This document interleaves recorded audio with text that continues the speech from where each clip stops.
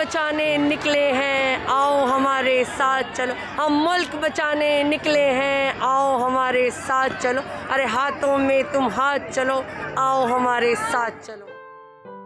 News click में आपका स्वागत है। हम पहुँचे हैं देवबंद। यहाँ पर महिलाएँ 24 घंटे का धरना शुरू किए हुए हैं और यहाँ पर इन्होंने इतिहास रचा है। इन्होंने तमाम पुरुषों को बाहर करते हुए खुद कमान संभाली है और यहाँ से ये ऐलान कर रही हैं कि जब तक मोदी सरकार नागरिकता संशोधन कानून को वापस नहीं लेगी तब तक ये इसी तरह से बैठे रहेंगी और किसी की भी बात नहीं सुनेंगी क्योंकि वे भारत की नागरिक हैं और यह कानून उन्हें बराबरी का हक देता है। हम लोग 27 जनवरी से बैठे हुए हैं। आज हमें 20 दिन हो गए हैं। लोग भी ये सोच लेते हैं देवबंद में अनपढ़ लोग हैं। इनके ये जाहिल है इनको कुछ पता नहीं है इनको दबा के कुचल के रखा जाता है बाहर नहीं निकल। लेकिन अलहमदिल्ला ऐसी बात नहीं यहाँ पे एजुकेशन एजुकेटेड भी सब महिलाएँ मिलेंगी। नकाब में है तो क्या हुआ? हमें हमारे हक मालूम है। तब हम लोग सड़कों पर नहीं आए, तीन तलाक का मसला आया, तब नहीं आए, बाबरी मस्जिद का फैसला आया, तब हम नहीं आए। कहाँ तक चुप रहे हम? मर्द सड़कों पर उतरते हैं तो उनको उठाकर जेल में डाल देते हैं। उनके ऊपर लाठीचार्ज किया जाता है उनके ऊपर अत्याचार किया जाता है। तो ये मोर्चा हमने संभाला इसके लिए हम हैं। लोगों का कहना है प्रशासन का हम लोगों को उकसा रहा है राजद्रोह कर रहा है गद्दार है यहाँ नहीं होना चाहिए। और एक नई तो, बात यह है कि हमारे यहाँ के प्रेस वालों के पास भी नोटिस आए हैं। हम तो वफादार बता दो तो हमने इतने वोट दिए इन्हें अपने सिर पे बिठाया आज क्या कर रहा है? हमारे लिए। तो ये आज़ादी तो मोदी मोदी जी ने दी है। उन्होंने कहा था मेरी मुस्लिम बहनें घरों में पर्दों में रहती हैं पाबंद हैं वो अपने हक के लिए नहीं बोल सकती हैं। तो उन्होंने वो तीन तालीक वाला कानून बनाया कि मेरी बहनों को बोलने दिया जाए। तो अब बहनें उधर आई। ये हमारा जो मंच है ये सिर्फ़ लेडीज़ के लिए है। इस पे किसी जेंट्स को अलाउड नहीं किया गया है कि कोई जेंट्स आके बोल। तो हमें पीछे से सब लोग समर्थन दे रहे हैं। हमारे लिए वही काफ़ी है। हमें मोरल सपोर्ट की ज़रूरत हैं। ये भाई खड़े हैं रात हमारे पैरे पर खड़े रहते हैं। अंदर आने की इनको इजाज़त नहीं है। ये इनका जज्बा और मोहब्बत और ये पूरी रात खड़े रहेंगे।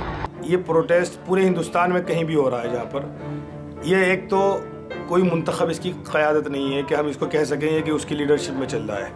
ये पूरा का पूरा जो इसको चलाने वाले हैं ये पूरी की पूरी मस्तूरात है ज़्यादातर तादाद में। और ये हिंदुस्तान के अंदर पहला ऐसा मौका होगा कि हिंदुस्तान की आवाम को महिलाओं ने जगाया है। और ये आइंदा मुस्तकबिल के लिए, फ्यूचर के लिए एक बहुत अच्छा मैसेज है और अच्छा पैगाम है। घर तो बहरहाल क्या नाम जी चल ही रहे हैं। ये भी सोच रही हैं और हम भी सोच रहे हैं कि अगर क्या नाम जी कानून लागू होता है तो फिर तो घर तो वैसे ही नहीं रहेंगे। तो मस्तूरात ने भी यही सोचा है कि हमें सड़कों पे आना चाहिए। हमारा भी हक है। जितना मर्दों का हक है इतना ही औरतों का भी हक है। जब रानी लक्ष्मी बाई भी अपने बच्चों को कमर पर बाँध कर आ सकती हैं तो हम लोग भी मैनेज कर रहे हैं। दो बच्चे हैं मेरे अलहमदिल्ला जो कि पढ़ रहे हैं लेकिन एग्ज़ाम चल रहे हैं लेकिन फिर भी मैं यहाँ बैठी हूँ। बच्चे कह रहे हैं अम्मा आप वहाँ पर रहो। आपको जीत के आना है। क्योंकि हमारी नस्ल को बचाना है, हमें अपने वजूद को बचाना है। क्योंकि इसके ज़रिए ये चाह रहे हैं कि मुसलमानों का सफाया हो जाए यहाँ से। ऐसा नहीं है हमारे पास पेपर नहीं है। हमारे पास अलहमदिल्ला सबके पास पूरे पेपर है। अपनी दो पीढ़ियों के भी पेपर दिखा देंगे। लेकिन हम अपनी कौम के लिए यहाँ बैठे हैं, उन लोगों के लिए बैठे जिनके पास पेपर नहीं है, जो प्रशासन का पूरा दबाव बन रहा है कि यहाँ से धरना उठ जाए। अब आप देखिए, इतने दिन से मेहनत कर रहे हैं, दिन रात कैसे उठ रहे हैं? हमारे लिए एनआरसी सबसे बड़ा खतरा है और इससे हम इंशाल्लाह निमट के ही रहेंगे। ना हम लोग उनके कहने से बैठे थे और ना उन लोगों के कहने से उठेंगे। हम इस ज़माने को कैसे आगे जाके मुँह दिखाएँगे? हम अपने बच्चों को क्या जवाब देंगे जब वो हमसे ये पूछेंगे कि मम्मा आपको पता था आप एजुकेटेड थी? आप कुछ कर सकते थे? आपको हमको एक राह दिखा सकते थे?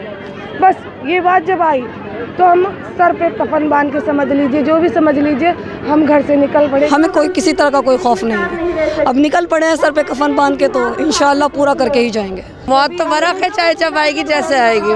और ऐसे में अगर मौत आ जाती है तो शहादत का दर्जा मिलेगा कोई टेंशन नहीं है। तुम पुलिस बुला लो तुम डंडे मारो तुम जेल में डालो नहीं डरेंगे नहीं रुकेंगे।